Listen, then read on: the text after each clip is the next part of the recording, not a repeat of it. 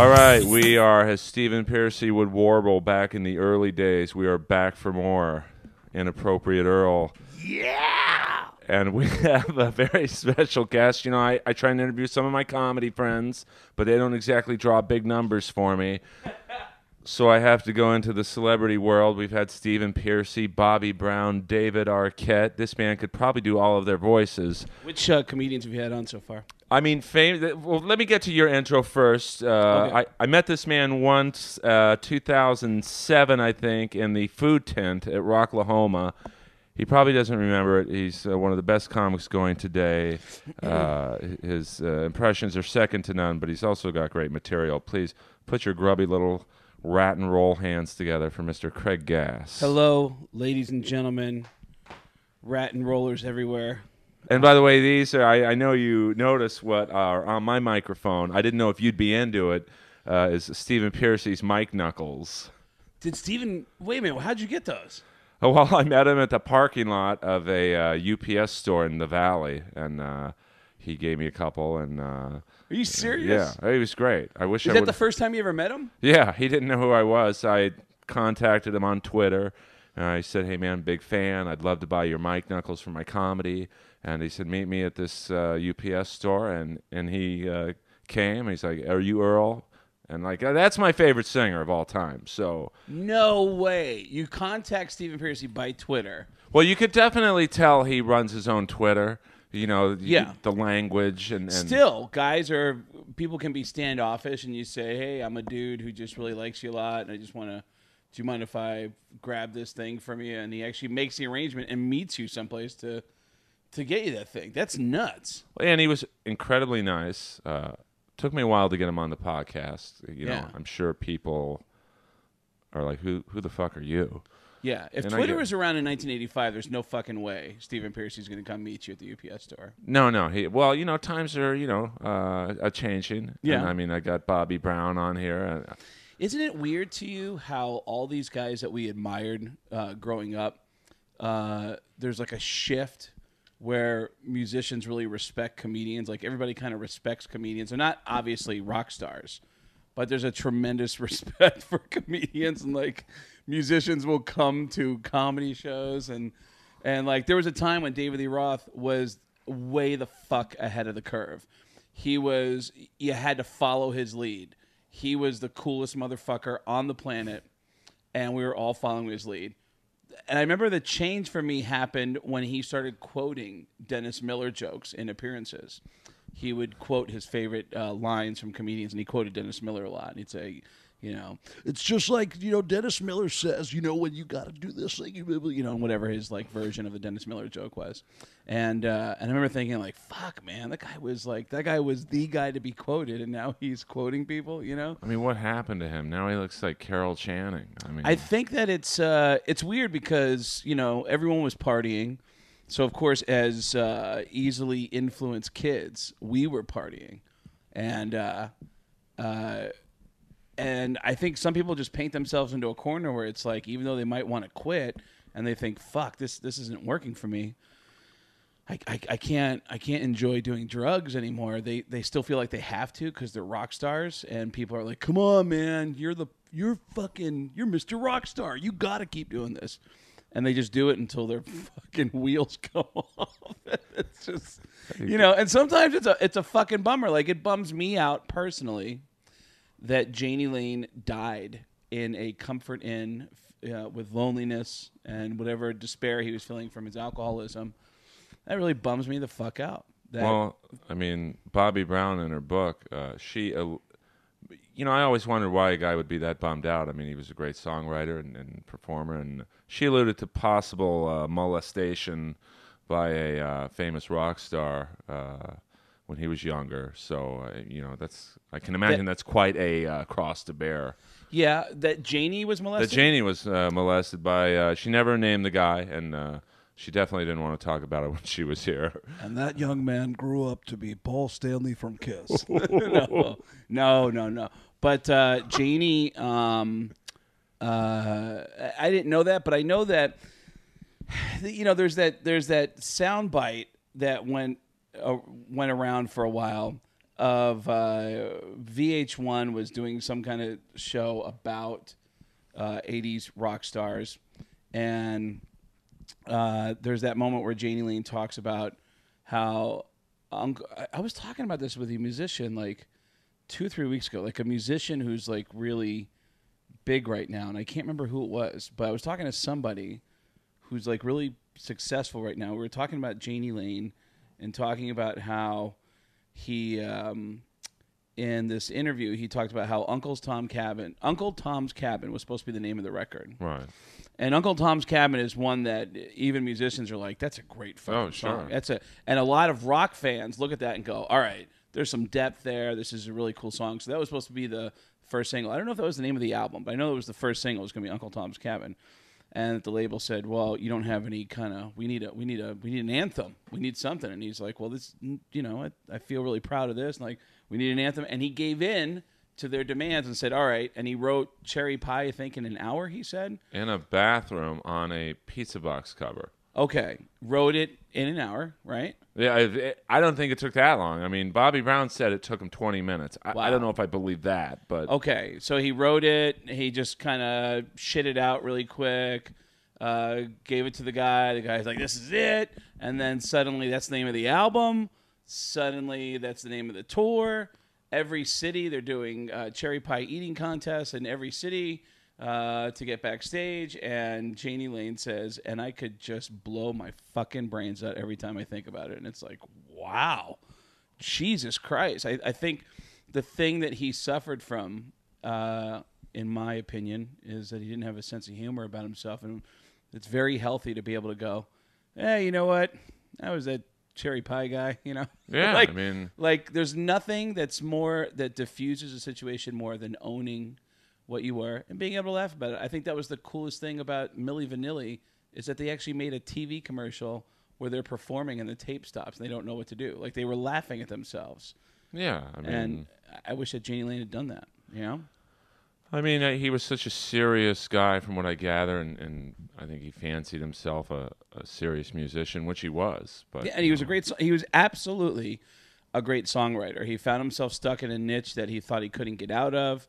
Um, he kind of, you know, he felt really bad about the way that whole genre of music was starting to get looked at after 1992, it was awful. and um, and he he really he couldn't laugh at it. He was just like, "I'm sorry, I'm sorry, I'm sorry, I'm that guy." Yeah, And I it's mean, like, why not just, you know? I mean, he was eventually going to come out of it. And I know that he was struggling. And, you know, I, I ran into him and I knew that he was trying. Uh, I know we exchanged phone numbers and, and, uh, but then I'd call him and, and he would never return the call. And, yeah, so it's I mean, a bummer. Well, you know, that's why I kind of like Kiss. You know, Gene. And I'm not. I'm not going to ask you to do the. Imp- I'm sure you Of get. course. but I mean, I'm sure. Dude, I'm get- not going to hang out here and not do Gene and Paul and come on, man. But I mean, that's why I, I kind of like Gene because he, he doesn't take himself seriously. Yeah, oh, t- holy shit. I'm a whore.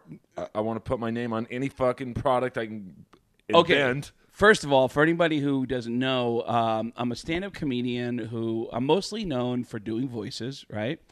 And uh, I do impressions of people that nobody wants to do. know, Gene right? Simmons. Like is uh, you know, like nobody else is doing Sam Kinison. You know, where you go like.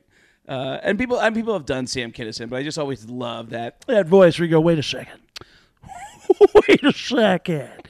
I thought this guy was dead. oh, oh, Jesus. Jesus. Uh, but uh, um, uh, Gene Simmons, I, I had this impression. Uh, I was on the Howard Stern show about a. I've been doing stuff for the Howard Stern show since 1995. In 2001, I sat next to Howard to audition to be his sidekick.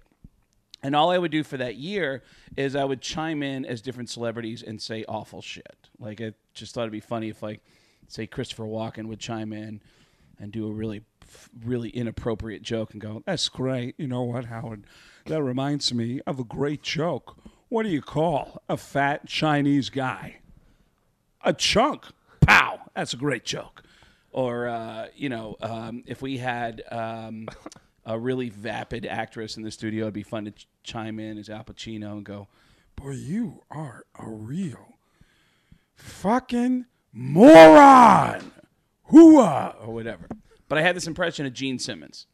The impression wasn't funny until I came up with a funny angle. The funny angle was every time we had a music guest in the studio, I thought it would be funny to constantly interrupt the music guests as Gene Simmons and try to sell them shitty Kiss products. And um, and I fucked with everybody that came in, whether it was Jon Bon Jovi. I remember Tommy Lee was on the phone. Ted Nugent was in the studio. The Insane Clown Posse. It could be rappers. It could be anybody. I just kept telling them, But it's because of Kiss, right? Am I right?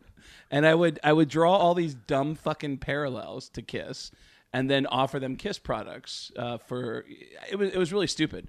But the weird thing was, and we didn't know this at the time, the real Gene Simmons actually started getting hate mail, and people started yelling at the real Gene Simmons on the street for all the awful shit that I was saying to people. And uh, the first I heard of it was uh, I wish I could remember this guy's name.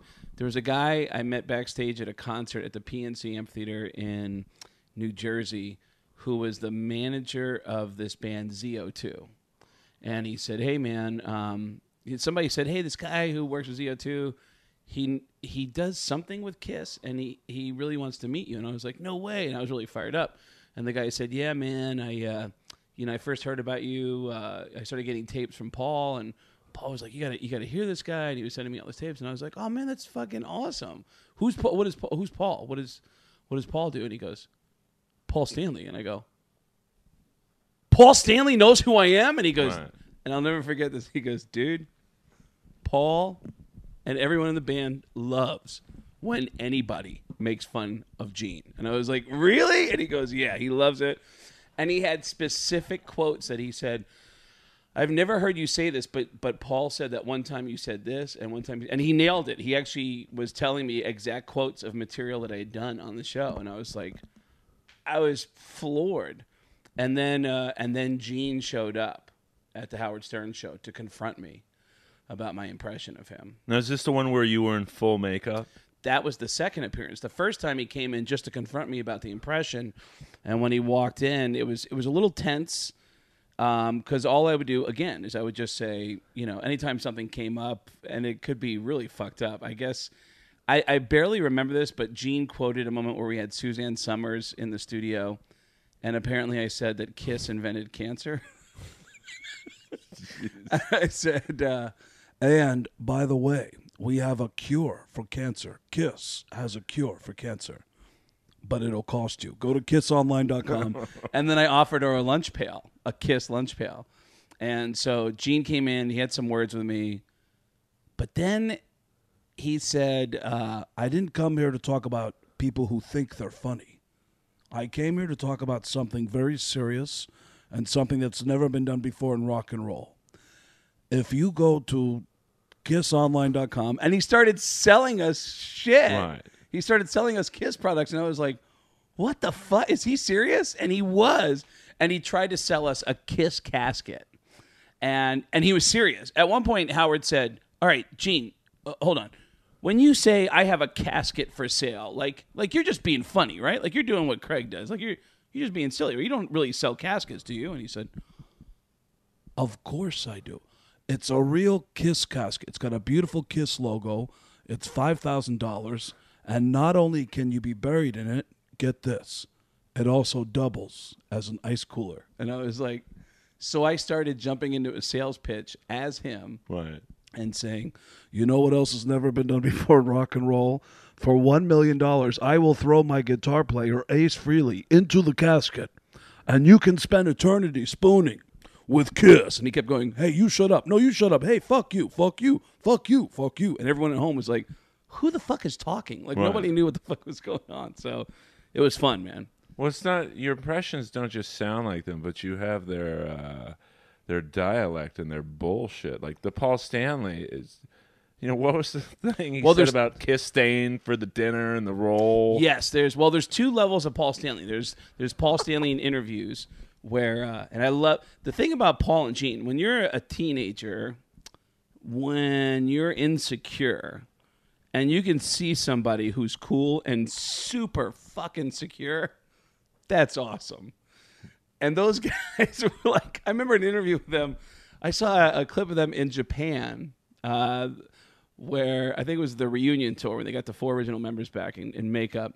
And somebody lobbed the biggest softball. Why is Kiss so amazing? And that was the question. Why, is Kiss so amazing? Why, why are you so amazing? And Paul Stanley goes, you know, a lot of bands are envious of Kiss.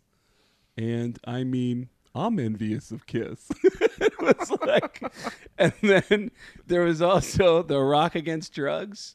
Um, they had a 30 minute infomercial, Rock Against Drugs, and there's a moment where Paul Stanley is like in a bed with like 30 hot chicks, right? And they go, oh no, I, I think he was standing. I remember the bed was something else. Uh, The bed like- was the video. the video. That's right. Yes, dude, we're such geeks. We always know this. The Kiss bed, exposed. Kiss exposed, Where where, they're sitting up by the pool What- what- in what's supposed to be the Kiss mansion, where the the doorbell rings and it's and it's a Kiss song. and the the interviewer, who was a very funny comic, uh, Mark Blankfield. Oh wow! He was uh, on the cast of Fridays, which was you Oh know, wow! SNL's. Wow! And uh, he stumbles into the bedroom and he asks them what the girls' names are, and so he goes, Carol number one, Carol number two, Carol number three, Carol number four, and Carol number five. And Mark goes, "Oh, so I guess you could say you went caroling." That's the worst joke. Well, I remember seeing an interview where they go, they go, uh, "Why is you know Kiss so amazing?" They do that thing, and then there's a Rock Against Drug thing where Paul Stanley, um, they're and I know they're very anti-drugs, and Paul looks right in the camera and says, you know, if you're a girl and you have an opportunity to be with me, why would you want to ruin such a bombastic moment with drugs and alcohol to take away what I'm about to give you? "That's like, that's an awesome amount of confidence." Oh and uh, and then there's Paul Stanley on stage, which is a totally different. Like, you know, I saw him in Las Vegas, where I was really blown away by this by this rap that he did in Las Vegas, where he went, "All right, people, now listen. You know, this is in Las Vegas. It was Kiss and Aerosmith. He goes, you know, I know this town is known for its buffets." And I can tell you right now that I see a lot of people in the front row that I really want to eat. And then he started tussling his hair. And then I mentioned it to like two or three guys who work for Kiss. Uh, towards the end of the tour, I saw the same show at Madison Square Garden, and I brought a bunch of comedians Steve Byrne, Jeff Ross, and Jim Norton.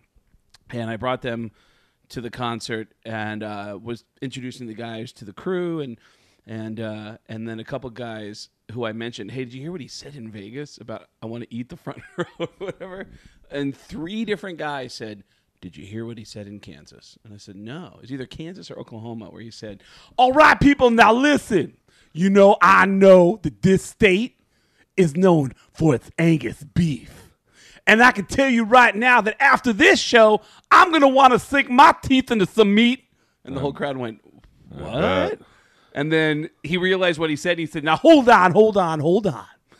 You know what I'm talking about?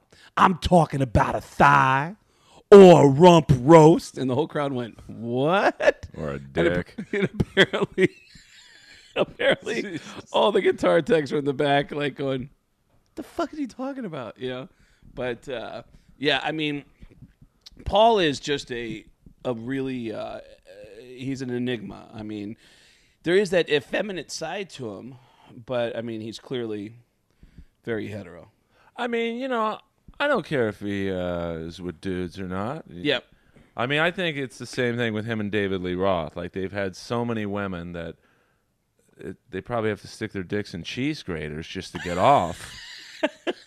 so why not have a guy blow you? You I do- mean, you do have to wonder, like, how, yeah, the monotonous of that. Um, I'm sure you've done all right for for yourself. There's uh, been moments in my life where I've overdone everything and I've gotten bored because, uh, and I'm not. it- it's just about wanting to live a certain type of lifestyle, and when you commit to it, you can do it. You can certainly find your way into it.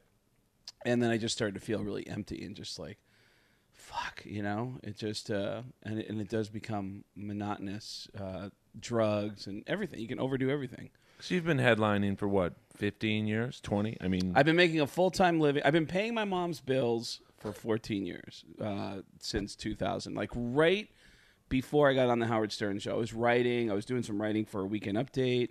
Uh, the gigs were coming together enough that I was just making ends meet, and I quit my last job at a supermarket. I never finished high school, and I went to high school for a long fucking time. I, I really could not pay attention to save my life.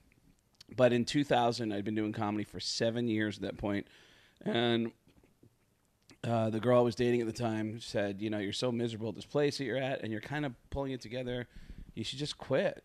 And I took a leap of faith, and I, I floated for a while, and then I got on the Howard Stern show, and that changed everything, and that led to uh, TV gigs, and and then I really thought it was going to dry up after they they narrowed it down to me and Artie, and they gave Artie the job, and then it was like, all right, so I guess it's over for me, and then but I started getting all these acting gigs and Sex in the City and King of Queens and, and now Family Guy and so it's working. So I mean, how do you deal with that kind of rejection of getting so close to? I mean, that's got to be one of the top gigs, and It didn't, but I wasn't of the mindset that I wanted the gig. I don't think I was. I didn't really. It, I'm not the same mentality. I don't have the same kind of. Uh, uh, and there's a. It, it's very clicky, and I didn't fit into the click. the you Stern know? Show. Yeah, the Stern Show. Like I got in as like as far as like Howard. Howard absolutely supported me. Howard absolutely was like, you know, I want to make this work. And there were times when it wasn't working, and I would fall victim to, uh, like I would like I couldn't believe that people were talking about me online, and I could go in and, and see shit online, and that would affect what I was doing on the show. And I remember a couple of times. Well, there was one time that Howard had an idea, and he said, "Hey, when this next guy comes in, you want to do this and this?" And I go, "Ah, man, I don't know if I want to do that again." I, I was kind of thinking maybe we'll go in this direction. He goes, "Really? If, if that- well, if that's what you feel, then then let's do that." So I went in a different direction, and after the show, he was like, "You know, I think it would have been better if we did what we normally do." And I said, "Yeah, but I was on this website." And he goes, "Oh my god, don't fuck!" Like he flipped out, was like, "Don't read that shit. It'll fuck with your head. It'll and and it it'll change everything, and it and it won't be the truth. It's just it's whatever somebody feels." And you can't let that criticism get to you. And then Gary walked in in the middle of that conversation, and he was like, "You know, Gary will tell you." And Gary was like, Yeah, there's, there's times that I'll be like, I'll put together a best of, and I'll have like a best of. I've been working on it for like for like literally like two weeks, and then people will like, and then I'll read it, and people will be like. What the fuck? Did they spend like twenty minutes on this fucking thing? it's fucking fucked up. They'll fucking tell you. I mean, they'll they're fucking. You know, they, they don't. They'll just fucking. They're brutal. You know. Because Stern fans, I would imagine, are, are almost like metal fans. Like they're like, Oh, there's a lot. suck, and uh, you know, if they don't like you, they they just rip into you just to rip into you. Well, Howard built a career on ripping into people. So that's the kind of and that's that was the funniest thing to me is that Howard built a career on destroying people. And then he would get, he would read shit online and be like, "Who are these monsters?" And be Right. like, "That's your mo- that's the shit that you're into." And he he always had this thing about you know, how come, you know, we're how come people don't treat us like we're the Letterman show? And it's like cuz you're a different type of show. You're you're not like a show that caters to people's egos. You you like to rip egos down and you like to be real and be honest, you know. And sometimes you're fucking brutal and that's that's what you got in your audience is people who are fucking brutal. You Well, I also think Letterman didn't have a guy like Daniel Carver on. Uh, with, uh, Yeah. who Yeah, was my some- favorite of all time. Really, Daniel Carver? Just because he really like. Obviously, he's saying incredibly awful things. Yeah. But he he, I don't think he realized Howard was making fun of him, yeah, well, or did he? Well, that was the thing. Well, uh, there. Okay, there was one time that uh, Howard, uh, for a sketch idea, uh, Howard had a KKK outfit, and um, to which Daniel was like, "Oh, you have one of those outfits?" And they go, "Yeah," and he's like, "Ah," like he thought, like, "All right, well, we got more in common than I thought." Like he thought that they Right.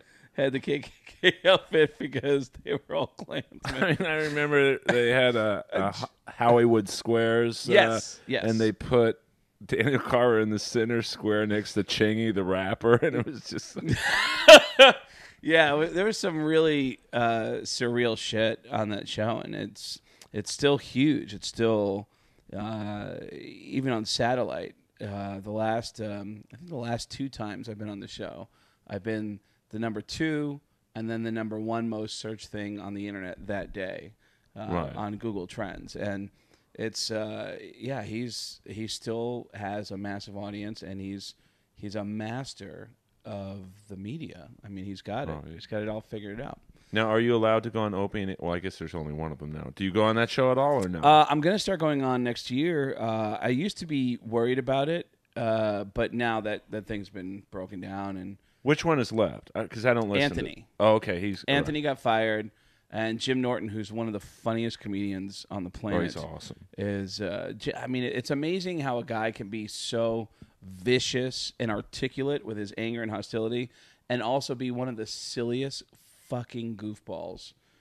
He's just a goofy fucking guy. I love that guy, and his his material. I think he really is our uh, modern day George Carlin. He's just um he's a, a wordsmith, and he's uh, he's just he's brutal and brilliant and um, and it's crazy. It's weird to me that like that uh, that I uh, hang out with guys who I respect so much, or I get to share the stage with guys that I respect so much because it's I'm such a fan of comedy.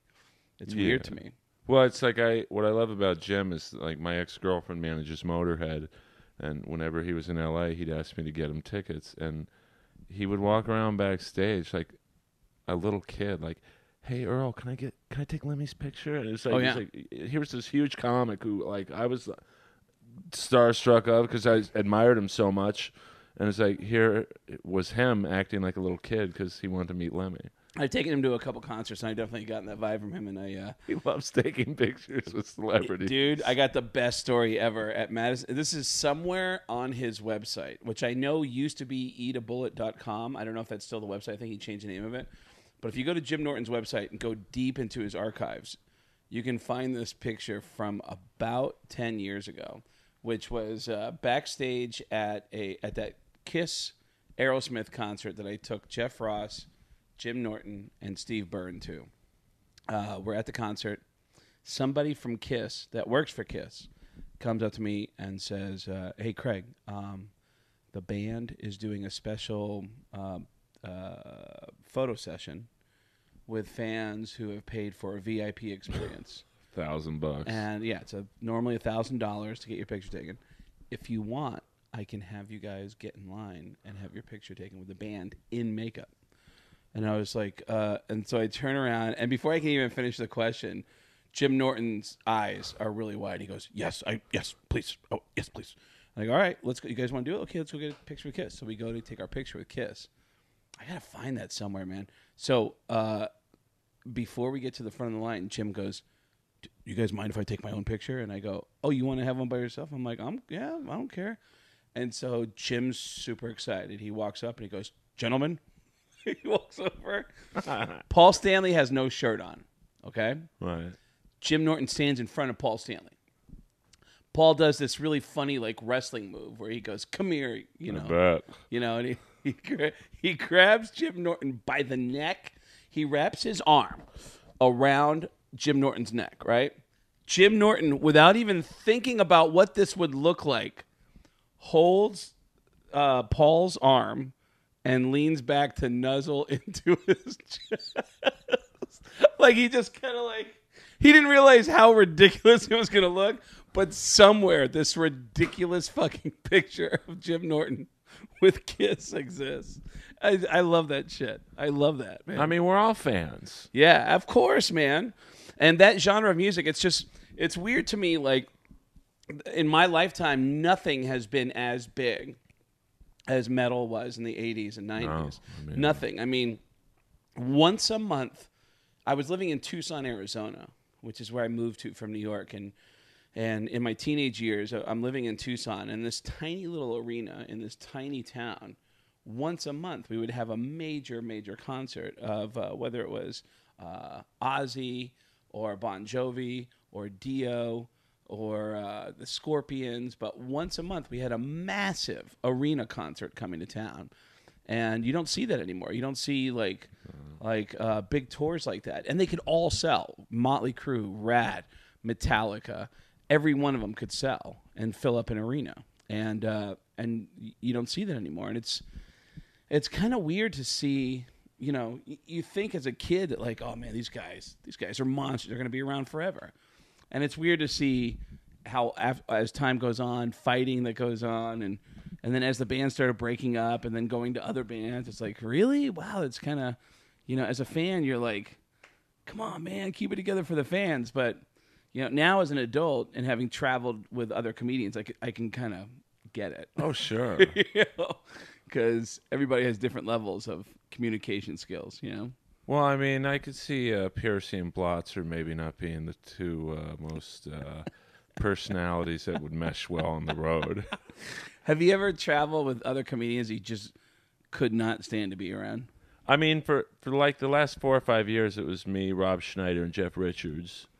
So, you know, that's a eclectic group. Yeah, that is. But we got along great. Yeah? And then, uh, Did you do a lot of international shows with them? A lot of Canadian things, but I never, uh, you know, Rob's huge and like uh, not Portugal, but uh, I don't know, one of those wacky countries, like where he's like a god. He's like David Hasselhoff was in Germany. He's just, Really? uh, Like he'll, he'll do like an arena? oh, he'll do a stadium, or Mm-hmm. you know, like a four or five thousand seater, and, and sell it out instantly. Really? So I, I forget uh, it's something with a P, but uh, but he's a great guy. He was always nice to me. Wow, now I'm wondering what that is. Portugal. Not Portugal. Uh, Peru. Not, it's uh, Uh. some. You know, just they roll out the red carpet for him. It's like they stop. People take off work, and like I never got to do those gigs. But Wow. because you know, there's not many people on on his level uh, in terms of like movies. You know, actors doing comedy. I mean, like with that name recognition. So I got curious these last few years to go out and do shows in like um, uh, internationally. right. And I remember uh, doing a show one night, and Russell Peters was at the Laugh Factory, and Russell is just crushing everywhere. And uh, he does theaters and arenas all over the world, and it's almost all exclusively his career has been built on YouTube videos, uh, just filming his YouTube videos, putting them online, and that guy went straight to arenas.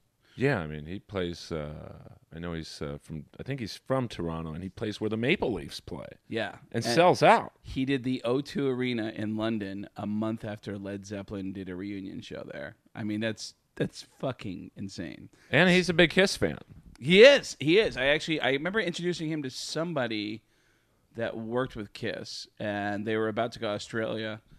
Russell was about to go to Australia, and I was like, "Well, you guys meet up when you get out there, and I'll give you guys your, each other's numbers." And um, but and he's hardcore. Like he's not like he could he could actually tell you some Kiss trivia that like he can show that he's not kidding. Um, but Russell and I were at the Laugh Factory one night, and he came up to me and said, uh, "He goes, dude, your impressions, man, you." Like have you ever traveled internationally and i said you know what i actually was going to talk to you about that tonight because i was going to say if you ever want somebody to come with you to do some international dates i'd like to come with you and he said what do you think about india and i said what else you got uh, besides anything with anything with India?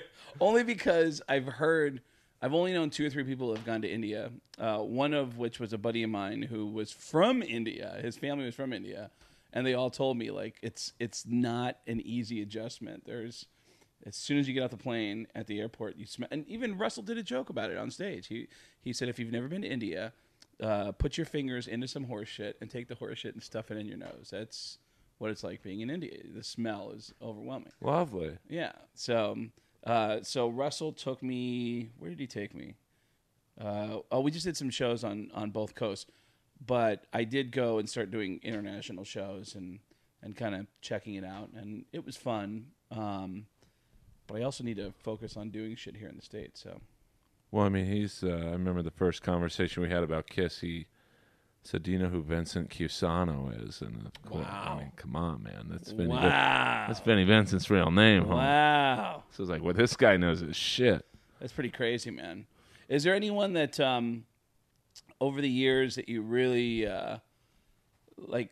held up in such high esteem that really just bums you out now to know that the, it's like the facade is gone because of what you know about them. Well, I did. It's nothing music related, but I'm a big Bruce Lee fan, and uh, of course, Enter the Dragon is like uh, that's like the stairway to heaven of karate movies. It's Yep. just, uh, and I saw John Saxon at my doctor's office once, and uh, he was a very good-looking guy with a gambling problem in the movie, and I'm like, oh, Mr. Saxon.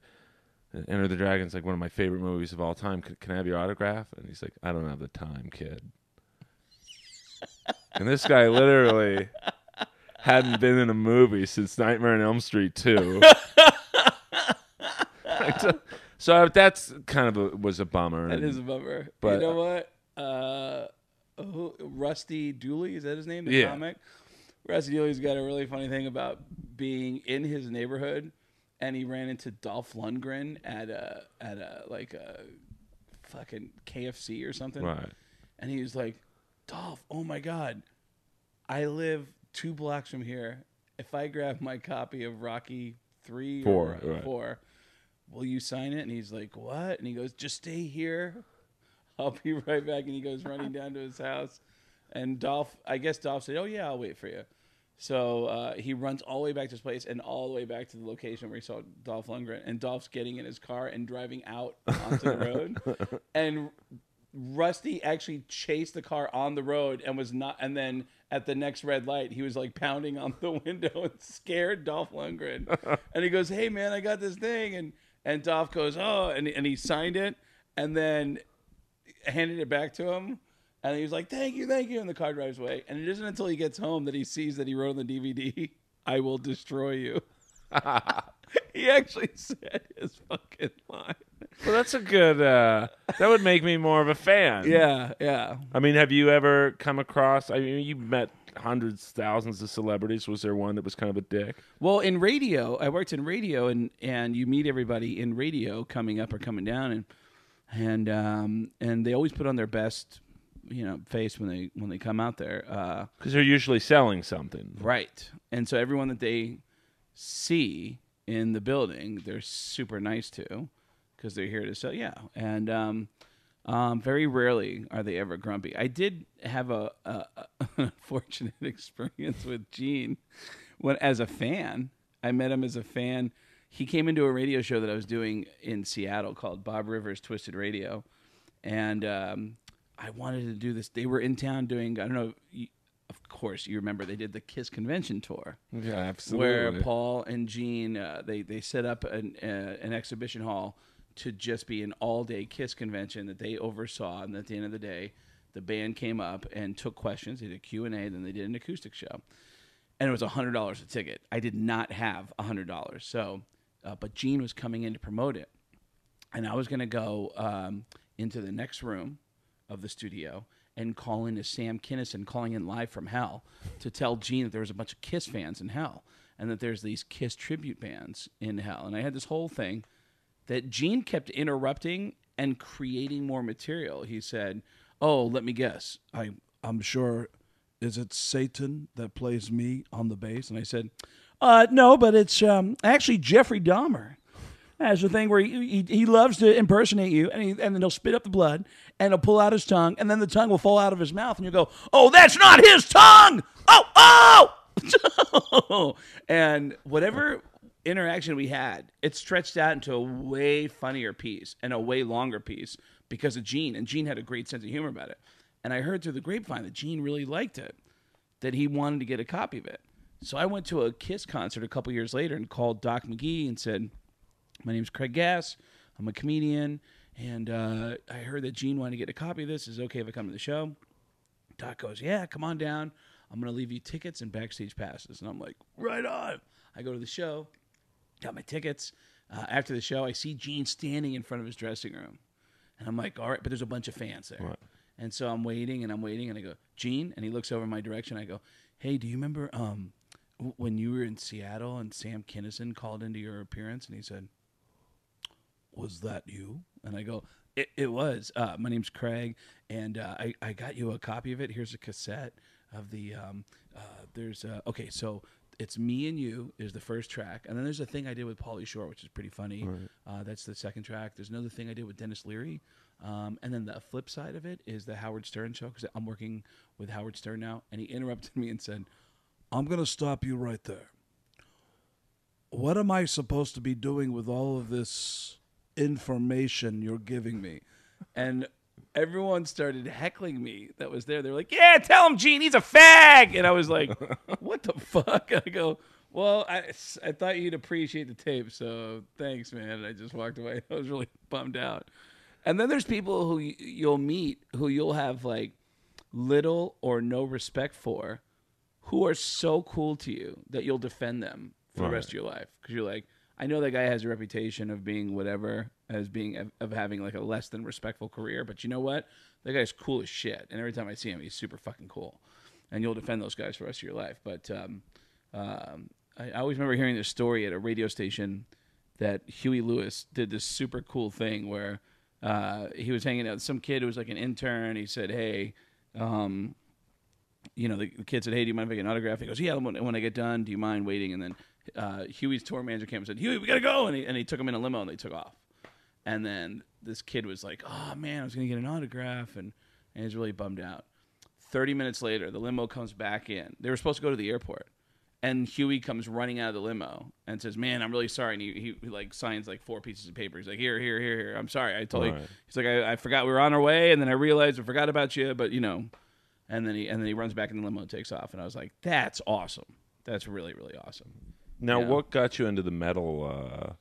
Because I know you're a big metal head. big the very first song without I was into Physical by Olivia, Olivia Newton John, Great video. uh, Centerfold by J. Geils Band. And then I remember my mom driving me to school. I was running late and I missed the bus and she had to take me to school. And I had the rock station on KLPX in Tucson, Arizona. When the I just heard this ba ba ba ba ba ba ba ba ba ba ba ba bum bum bum bum bum bum bum bum and then this vocal was like Wah!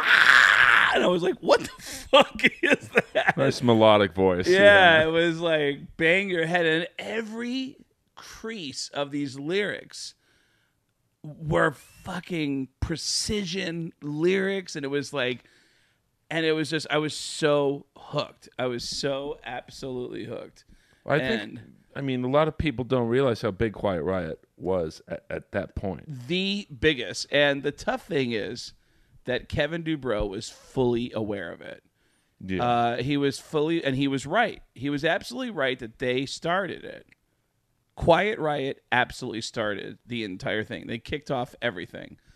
And but Kevin DuBrow had a thing about letting everybody know, hey, we start. I mean, yes, there was Black Sabbath. Yes, there was Ozzy. There was, but what started this whole '80s thing that specifically targeted me and everyone my age was Quiet Riot. It was Bang Your Head. It was Come On Feel the Noise, Bang Your Head, and it was the first heavy metal hard rock album to go to number one. I mean, not even Zeppelin did that, Not even Zeppelin. which is crazy. Yeah. And I remember, you know what? It's funny you say that. This is how fucking stupid I was at 14 years, 13 years old. 1983, this album comes out. And at 13, I remember getting an argument with some stoner kids who were older than me.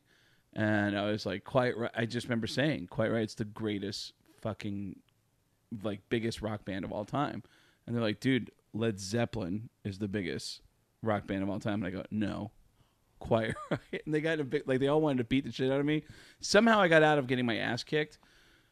But I was that delusional in my mind at that time that I thought, like, because Quiet Riot was opening the door to me and, like, they just galvanized everyone that was my age. And then when Motley Crue came along, it was like, what the fuck is that? And then Motley Crue just took it to, you know, it was like an image, it was music, it was an image, it was like, you It was uh, Quiet Riot, Motley Crue, and Ratt yep. all around the same time. Yep. just- and then uh, And then somehow Quiet Riot didn't quite hit the same kind of like level that Motley Crue sustained for so many years. Ratt, uh, not as big as Motley Crue, but Ratt got pretty big, did some arena tours.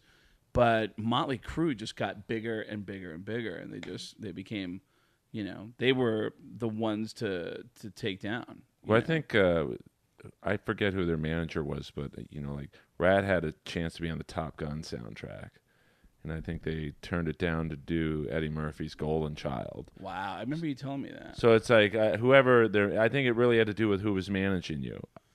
You know, in terms of getting you the connections, the breaks. I mean, Quiet Riot's manager was uh, probably not the brightest dude in the world. I mean, Wow. they flamed out pretty fast. Yeah, and then also the reputation kind of spilled into the magazines that you know Kevin DuBrow was so disliked that Ozzy punched him in the face at a wedding. Uh, you know, he had this reputation, and there was this weird thing where you know this band comes out, this singer clearly looks like he's getting older and he's losing his hair, and then the next album he's got tons of hair, and it's like, Yeah. what the fuck just happened? Well, that video for the Wild and the Young with Yeah. Wink Martindale, uh, he had like a like a Was Wink. Martindale in that in that video? I Yeah, he, he's like the guy at the end who's like, no rock and roll, no rock and roll. wow, And uh, that was like the beginning of the end. Uh, wow, Oh, that might have been the end, the end of the end. wow. So, uh, but you know, who knows if uh, Randy Rhoads would have stayed in Quiet Riot, where they would have, you know, he might have had that guitar uh, Influence hero uh, vibe that like that would have carried it. carried, you know, like D. which Martin- is what made Van Halen so fucking bulletproof. Yeah, Is that they had this guy who was a giant mouth. He was this big personality that critics love to hate. But he's standing next to a guy who's changing the way everyone's going to play guitar for the next 30 years. And they were bulletproof. You, you can't say this isn't a real band because the guy next to him is the greatest guitar player on the planet. You yeah. I mean, uh, and even with Hagar, they got bigger almost. Uh, Yeah, that's crazy. That that kind of bummed me out because uh, as a Van Halen fan, it bummed me out that that that got. Um, I was surprised. I did like, yeah, I did like the new Van Halen. I did like the songs. I did like the new energy. I mean, they just it was weird. They were able to just, um, that they were able to redo everything and it worked. You know, they were suddenly this happy band of friends, and it was a different type of sound. But it worked. It actually worked. you well, that mid '80s was like, I mean, even the Vinnie Vincent Invasion had like the highest selling uh, debut ever on Chrysalis Records. I mean, which shows you like what was selling. Wow. No Uh, shit. Now they probably didn't have a lot of top selling acts, but I mean, two years later he was kicked out of the Vinnie Vincent Invasion, which Yeah. is really. which is pretty funny. and I love Vinnie. I'm obsessed with him, but Yeah, it's funny that it just so happens that my two favorite Kiss songs happen to be Vinnie Vincent songs, which I didn't know. Um, All Hell's Breaking Loose, I just think is a really cool guitar-driven song, and um, Unholy is just Yeah. so ballsy. I mean, at the time that they came out, it was like it, it was just really was impressive that a band that at the time was in their 40s or 50s was coming out with their hardest song ever, and I just mad respect for that. you but know? even on that album, I guess he was acting up again, and like I think he was trying to angle to get back in, and you know, he just you talk about a moron. I mean, Yeah, it's weird. That is a weird thing. Like you, uh, you know, it's very strange to me. Like I just saw this documentary about uh, Ginger Baker, and it's yeah, it is absolutely fascinating to me that someone can be so good and so gifted at one thing, better than anybody else in the world, that they can be so good at one thing and a complete disaster of a human being at everything else. yeah, I mean that's Vinny uh, to to the T. I mean, he, here's a guy who was kicked out of Kiss three times in two years, Yeah, but he was so good they kept bringing him back. yeah. and I mean, just he was great songwriter, and you know, a little indulgent in his playing, but a great player. How long have you been doing the podcast now? Uh, probably a year and a half. Yeah, and what have uh, what have you learned and adjusted to in the year and a half that you started doing this? I mean, definitely. Uh, you know, the first fifteen I did, I did in like two weeks. I just said I'm going to do like fifteen, and then release them one a week, so I can ha- establish a pattern.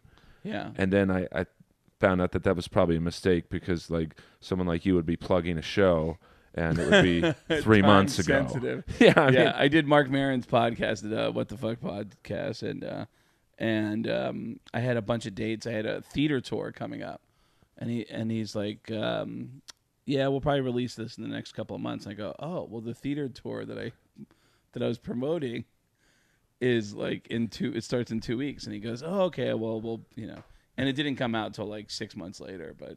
But yeah, that is it, it's funny. Like if there's something that's time sensitive, yeah, that can. I mean, be- he's like my mentor in terms. Of, I mean, in comedy and uh, just how a podcast gave him a second life, and and uh, so I'm trying to do it as best I could, and trying to get celebrities. I mean, you know, it, you know, one tweet from Stephen Pearcy got me literally a thousand uh, listens in five minutes, You're kidding. and you know, like I think you know, you have like what like fifteen thousand followers, Right, Uh, right, I mean, one tweet from you will, you know, c- a couple hundred, you know, in five minutes, and Wow. so it's just trying to. I mean, I I want to interview my friends, but you, you also, I guess, got to interview people who have followings if you want people to hear the thing. Yeah, but also if you have people with really good stories, get people to come on and tell some stories and tell some fucked up stories. yeah, Um, and pe- you want people who talk a lot. Like you talk a lot, and it's great. yeah. Because uh, like, there's been a few where I talked a lot, and it's like, well, people want to hear about you. They don't. I mean, Right. Well, sometimes people who don't know how to carry a conversation. well, I mean, like Bobbie Brown was awesome. She Yeah. was really super cool, but Bobbie she, Brown definitely seems to have no filter. I But like- she kind of, I think, she brought her boyfriend with her, so it was really hard to get into. Hey, what was boning Tommy Lee like when the guys right? And he was a real cool guy, and like, she tells this great story in the book about she goes over to Dave Navarro's house, opens the door. Dave Navarro is boning one of her friends, her best friend at the time. Yeah. Kicks her out, invites her in on the couch, and just starts jacking off.